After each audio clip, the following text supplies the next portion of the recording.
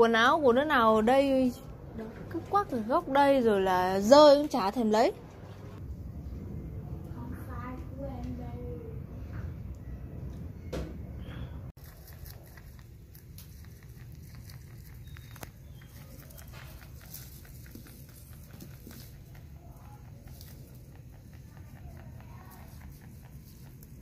Ngon ngon nhờ, nhí nhờ. Mm.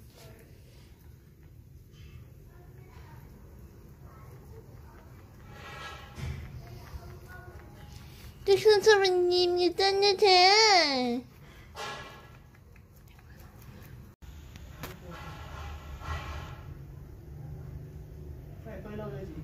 Cái gì phơi? Lâu lắm rồi